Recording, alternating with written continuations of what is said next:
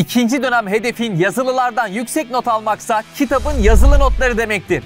Yazılıda karşına çıkabilecek önemli kavramlar, hocanın soru sorabileceği kilit noktalar hepsi 10. sınıf yazılı notlarının içinde hem de tüm derslerle birlikte.